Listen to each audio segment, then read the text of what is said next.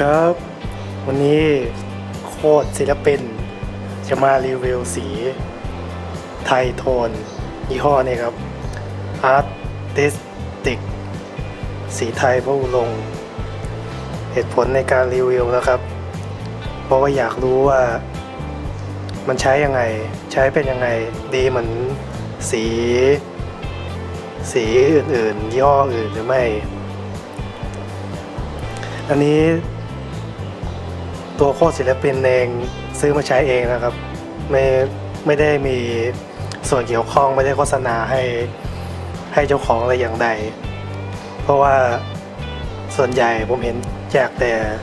ศิลปินนะครับ ไม่ค่อยเอามาแจกคนทั่วไปครับ แจกเพื่อนๆเขานะครับเอาละครับ มารีวิวกันเลยดีกว่า อันนี้เป็นสีที่ผ่านการใช้มาแล้วนะครับ โดยตัวผมเอง มันก็เลยเคลอะนิดหน่อย ดูต้องดูเนื้อสีฮะเนื้อสีค่อนข้างเหลวครับ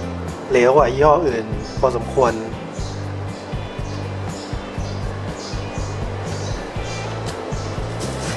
เราลองมาเทบนกระดาษให้ดูครับจะค่อนข้างเหลว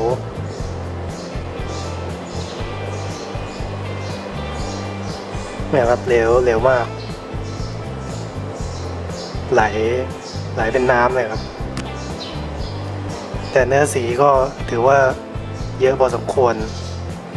คือไม่ไม่ไม่ใช่น้ำไม่ใช่น้ำเยอะ แต่เนื้อสีก็เยอะด้วย เหมือนกันครับ อันที่เป็นหลอดก็คล้ายๆกัน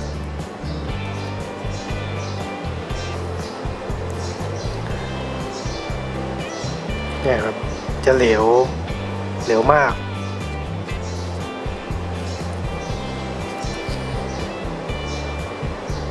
เนื้อสีก็เยอะเหมือนกัน ลองมาเปรียบเทียบกับของยี่ห้ออื่นในยี่ห้อที่ผมใช้ประจำสิบกร อันนี้เป็นอะคริลิกเหมือนกัน บีบออกมาคือจะจะไม่ไหลโจกนะต้องต้องต้องบีบ เนื้อสีจะออกเป็นก้อน ใช้ต้องละลายน้ำ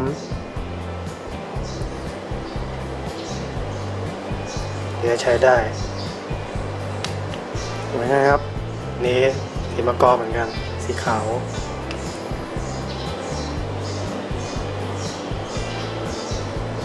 นี่ครับ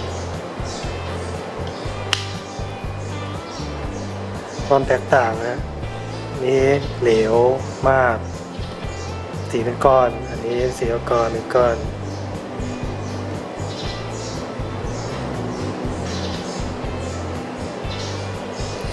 เวลาผสมก็ผสมกันได้นะครับ มันก็จะได้โทนสีเฉดไทยๆเหมือนกัน ก็ใช้ร่วมๆกันครับ ก็คงเอ้ยรู้สึกเขาจะผลิตมาเพื่องาน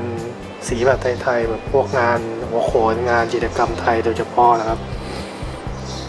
ก็เห็นผมผมดูเขาก็ให้เอาไปให้พวกศิลปินอะไรพวกนี้ test หลายคนนะครับ แต่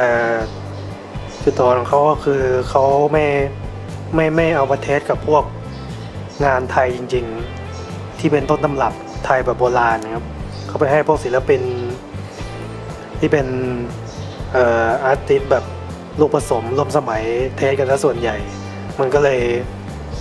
สีมันก็เลยออก คือไม่ไม่ไม่ใช่สีไทยจริงๆนะออกแนวผสมมาสีฝรั่งกับสีไทย คือผมผมแนะนำอย่างหนึ่งก็คือ ต้องต้องให้พวกที่เขาทำงานแบบโบราณจริง ๆอะเทส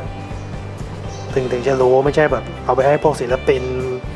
แบบร่วมสมัยเทสก็คือพวกนั้นมันเขาทำงานโบราณไม่เป็นนะเขาก็ต้องแบบ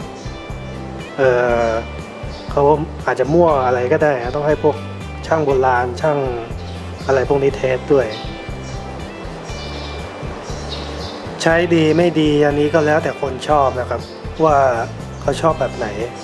มันก็ไปเขียนภาพเหมือนได้เหมือนกันนะเพราะผมก็ลองเขียนดูมันก็ไม่ไม่ต่างจากสีเกรดอาร์ติสทั่วๆไปมันก็อยู่ที่คนใช้ครับว่า